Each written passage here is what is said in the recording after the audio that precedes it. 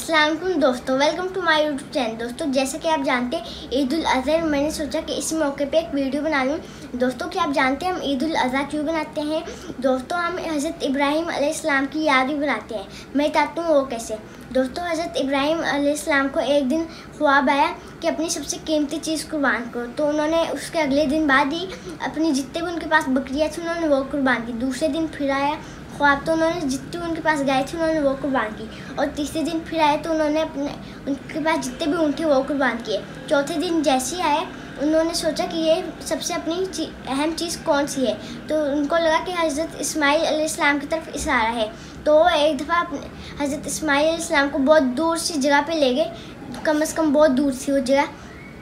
तो दोस्तों, वो लेके गए। तो उन्होंने हज़रत इब्राहिम ने अपनी आँखों पर पट्टी बांधी और उन्होंने जैसी छुरी घुमाई।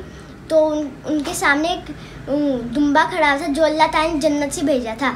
तो दोस्तों इसी वजह से हम लोग ईद उल अजहा मनाते हैं हज़रत इब्राहिम इस्लाम की और अल्लाह ताला की राह में। तो दोस्तों यही थी वीडियो। दोस्तों अगर आपको ये वीडियो अच्छी लगी तो लाइक शेयर सब्सक्राइब करना ना भूलिएगा और साथ में बेल वाला आइकन भी होगा उसको भी दुआ दीजिएगा। दोस्तों मिलते हैं अगली वीडियो में तब तक अल्लाह हाफिज़। Thanks for watching